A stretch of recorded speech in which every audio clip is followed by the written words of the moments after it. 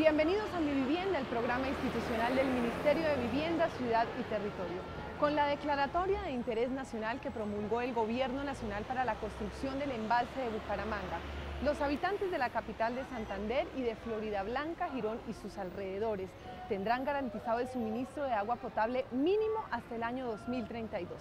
Esta obra fue declarada de interés nacional debido a que los municipios que se beneficiarán hoy tienen alto riesgo de desabastecimiento. El 5 de julio de este año, el ministro de Vivienda Germán Vargas Lleras firmó el decreto 1463, por medio del cual se establece la declaratoria de interés nacional del embalse de Bucaramanga. Esa resolución, ¿qué es lo que en la práctica permite? En virtud del decreto y de la misma va a permitir que todos los materiales que requiere la construcción del proyecto queden plenamente abastecidos. Y abastecidos con la montañita que ustedes ven allá, que es la que se va a poder utilizar. El Ministerio de Vivienda se encargará de delimitar las coordenadas del embalse, de donde se podrá extraer el material para la construcción de sus muros y demás obras complementarias. Este permiso traerá varios beneficios al proyecto. Esa decisión implica una reducción de costos importantísima, evita cualquier atraso que vaya a tener el proyecto, supera el conflicto con quienes tenían concesionado esa área.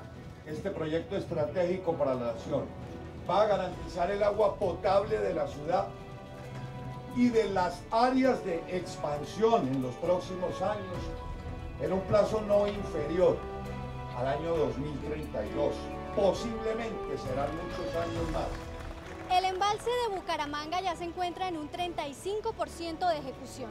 Ya se han realizado obras complementarias como las vías de acceso y también el túnel por donde se desvía el río Tona. Lo que se inicia esta semana es la construcción de la presa misma.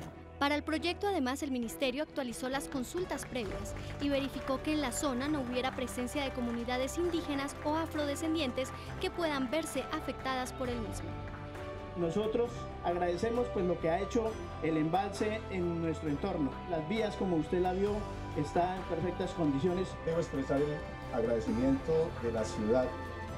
Debo decir que no es el primer gesto de compromiso que ha mostrado el ministro Herman Vargas a través de su recorrido de gobierno. Esa es actitud siempre de respuesta a las inquietudes que nos asisten. No dudo el ministro Vargas Lleras en corto espacio de estar al frente de esa cartera, de decirle sí a Bucaramanga y de oficializar hoy este instrumento normativo. El embalse de Bucaramanga estará terminado a finales del 2015 y suministrará agua a los santanderianos en el 2016.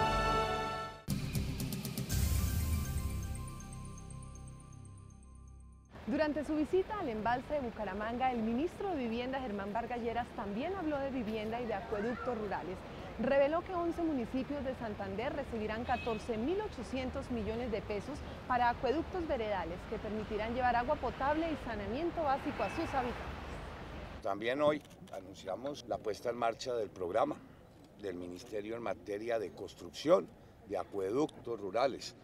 Y Santander se llevó la mayor parte, ya suscribimos el convenio con FONADE para que empiece la ejecución de estas obras, que tendrán que empezar en un plazo no inferior a dos meses. El presupuesto total para este rubro en todo el país es de 38 mil millones de pesos. Lo innovador en los acueductos rurales será que para garantizar la sostenibilidad de los mismos, se va a acompañar a la vereda y al municipio en la ejecución técnica y administración de los mismos. En solo Santander, los 10 acueductos veredales que se construirán beneficiarán a cerca de 30 mil personas. El ministro también destacó el interés que el departamento ha puesto en el programa de viviendas de interés prioritario totalmente subsidiadas por el Estado. Tenemos ya no menos de 30 proyectos inscritos en el departamento de Santander, varios de ellos en la ciudad de Bucaramanga. Les di el informe del estado actual en materia de revisión técnica de esos proyectos.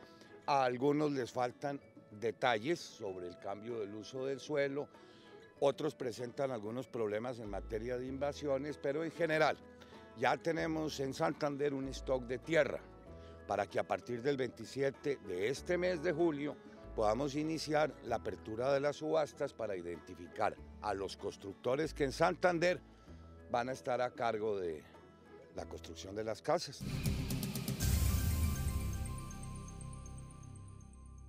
El ministro de Vivienda, Germán Vargas Lleras, reveló que cumplido el plazo de convocatoria para el programa de viviendas de interés prioritario en el país, el número de proyectos radicados ascendió a cerca de 900. Cerramos ya la convocatoria, pero llegamos a 950 proyectos algo récord. Y nos estamos preparando para a partir del 27 de julio iniciar ya los procesos de subasta en todo el país e identificar a las firmas constructoras que deben iniciar las obras, esperamos, en el mes de septiembre. A la fecha, la financiera de desarrollo territorial FINDETER ha realizado cerca de 450 visitas técnicas. El ministro formuló un llamado a alcaldes y gobernadores para que completen los documentos y entregar la viabilidad a los lotes presentados. Recordó que primero se construirán las casas y previamente a la entrega de las mismas se seleccionarán los beneficiarios.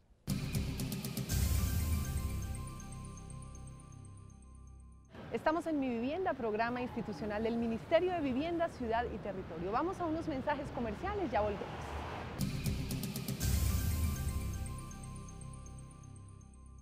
Todos hemos escuchado hablar de la crisis mundial del agua, una crisis ocasionada por el uso irracional que se ha hecho de este recurso, del cual solo podemos aprovechar una pequeña cantidad. El problema no es ajeno a nuestro país. Estamos malgastando agua en nuestras casas, en las industrias y en el campo. Si seguimos así, las fuentes de agua se van a secar y por lo tanto no habrá agua suficiente para todos. Es el momento de cambiar nuestros hábitos de consumo y hacer un uso eficiente del agua. Dale una mano al planeta. Dale más tiempo a la vida. Ministerio de Vivienda, Ciudad y Territorio.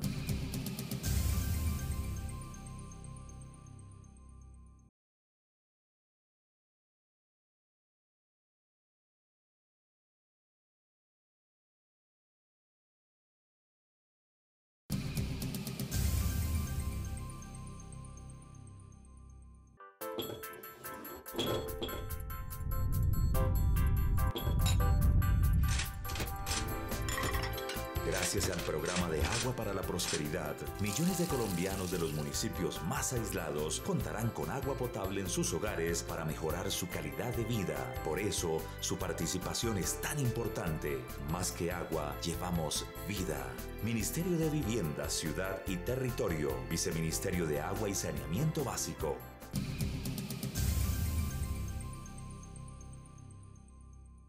Además de las viviendas gratis que entregará el Gobierno Nacional a colombianos que viven en situación de extrema pobreza, existen otros subsidios que el Ministerio de Vivienda maneja para garantizar que más colombianos puedan tener una vivienda propia, digna y segura.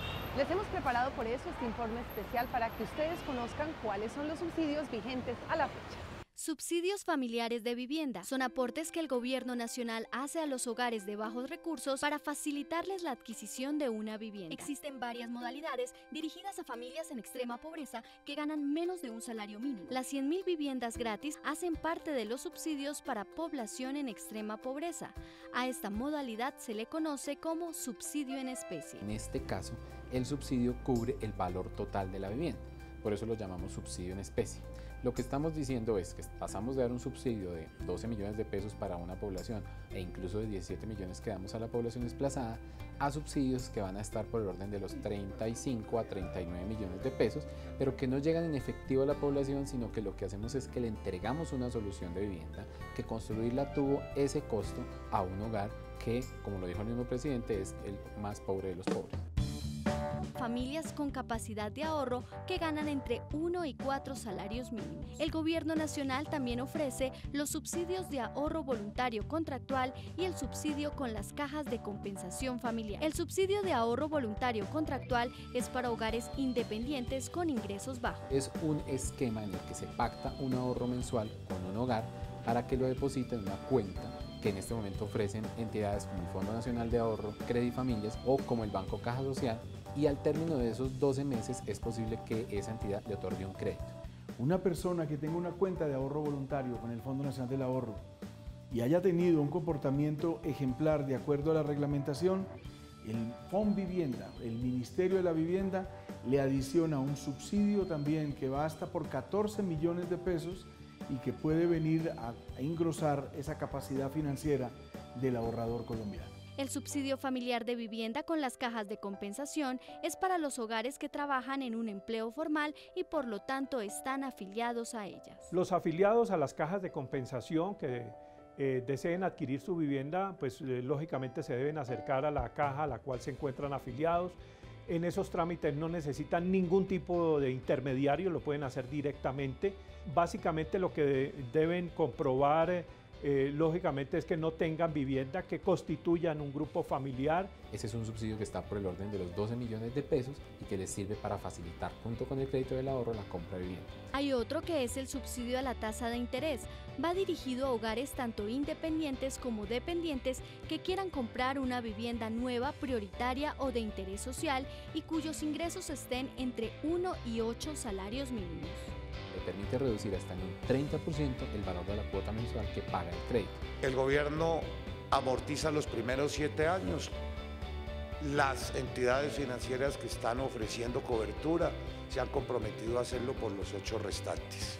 Para acceder al subsidio a la tasa, los interesados solo deben acercarse al banco de su preferencia y cumplir con los requisitos estándar para acceder a un crédito hipotecario.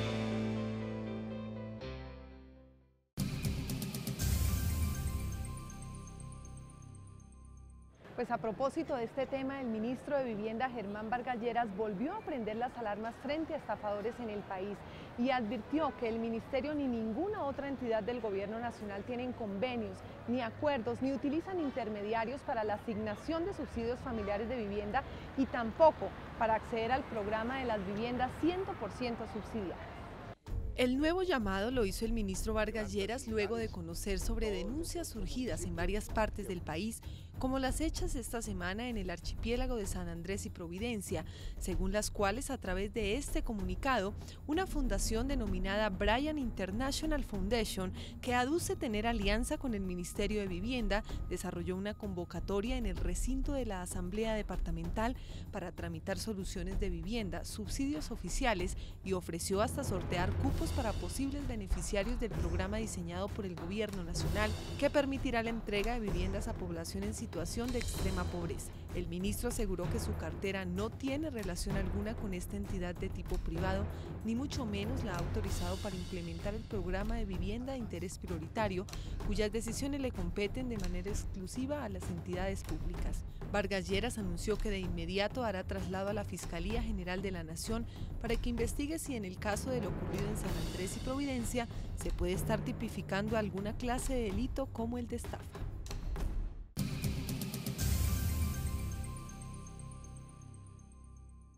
El mejoramiento integral de barrios es otro novedoso programa del Ministerio de Vivienda que busca la construcción de obras que mejoren el entorno y las condiciones de vida de gente que habita en barrios pobres.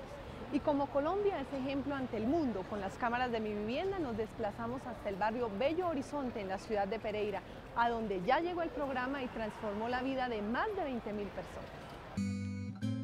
¿Cuándo se fundó este barrio? Este barrio se fundó en el año 96 donde se creó con una asociación de vivienda creado por 85 personas.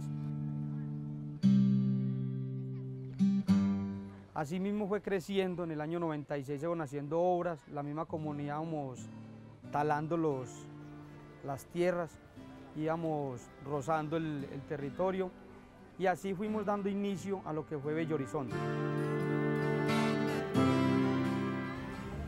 Escogidos por el Ministerio de Vivienda, Ciudad y Territorio inicialmente para desarrollar la estrategia de mejoramiento integral de barrios como una estrategia piloto en todos los municipios de Colombia. Y ahora hemos sido escogidos como la experiencia más exitosa que se realizó una experiencia diferente a las cuatro ejecutadas en, todo el territorio nacional. Esas otras cuatro experiencias fueron con recursos del Banco Interamericano de Desarrollo. Esta experiencia en Pereira fue ejecutada con recursos propios de, de la nación.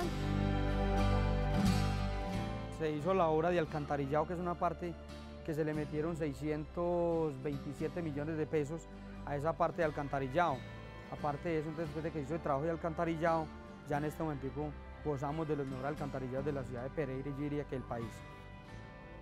Y se viene iniciando ya con el plan de mejoramiento integral de barrios lo que es la parte del pavimento que vemos aquí en la entrada donde esa parte de pavimento se le metieron 666 millones de pesos.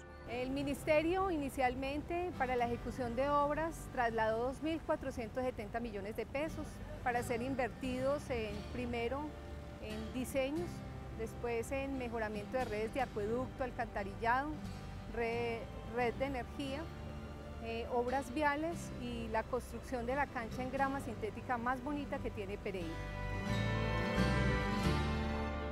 se hizo la parte de la cancha. Que yo diría que es lo que impactó socialmente, aparte de las obras majestuosas que se hicieron, impactó todo lo que es una comunidad y no solamente una comunidad, yo diría que impactó todo lo que es la ciudad.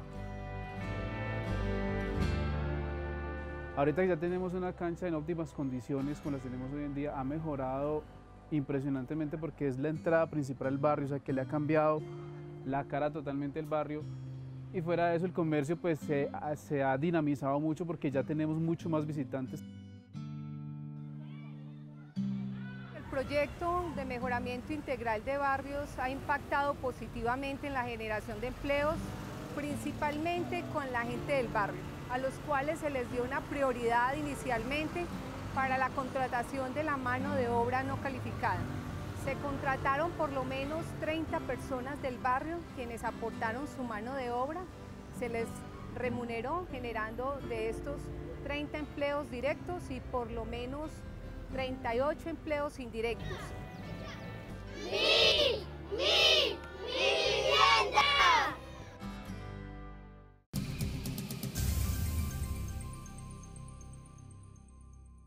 Seguimos en mi vivienda, vamos de nuevo a unos mensajes comerciales y ya regresamos.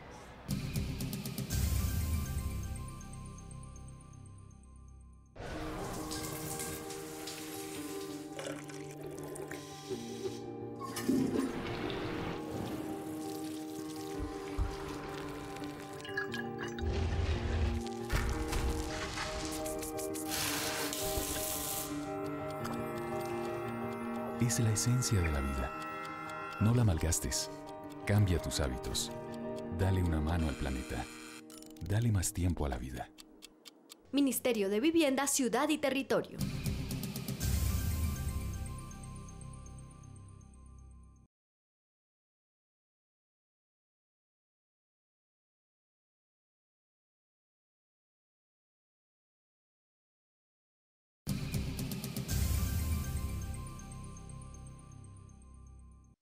Cuando este conteo se acabe, habrá muerto un niño en algún lugar del mundo.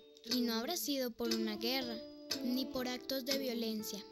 Será porque alguien antes de cocinar, o después de cambiar un pañal, o de salir del baño, no lavó sus manos con agua y jabón. Y por eso sus manos transmitieron diarrea a un niño, que en este momento dejó de existir. En tus manos está la vida. Lava tus manos con agua y jabón.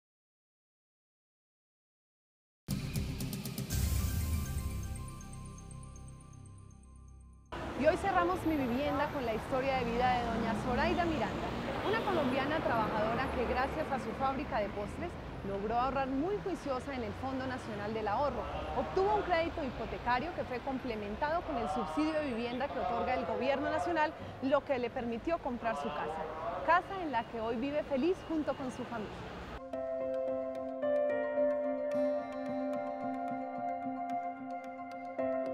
Yo conocí por medio del Fondo Nacional del Ahorro por una amiga. Ella me dijo que había abierto una cuenta de ahorro voluntario en el Fondo Nacional del Ahorro y yo también pues fui y abrí la cuenta en el Fondo Nacional del Ahorro. El mismo fondo me llamaron para que tramitara el subsidio de Fovivienda, que también me salió muy rápido, no se me demoró casi nada.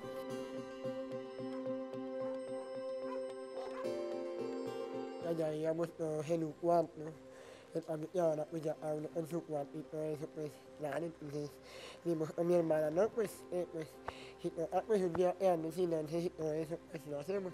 Yo vivía en arriendo de aquí arriba, porque siempre he vivido aquí en el centro, vivía con mi esposo, mis hijos, llaves de mi casa.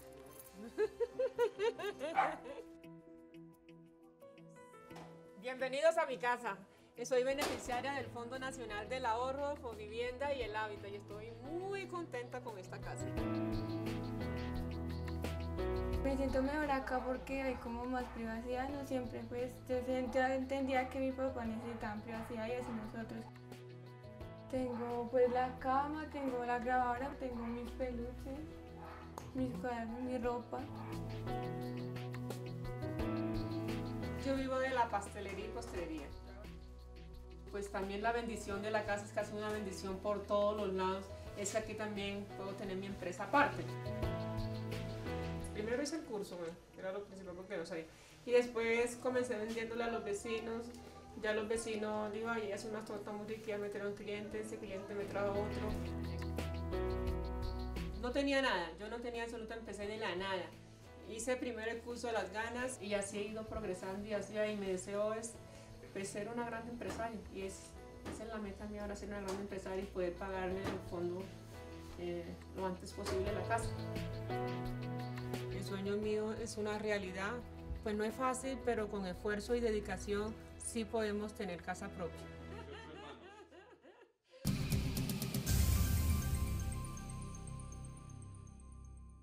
De esta manera llegamos al final de Mi Vivienda. Ustedes pueden seguir conectados con nosotros durante la semana visitando nuestra página de internet www.minvivienda.gov.co. Nos pueden seguir también en las redes sociales Facebook y YouTube. En Twitter nuestras cuentas arroba Minvivienda, la cuenta del ministro arroba Germán Raya al Piso Vargas. Bendiciones.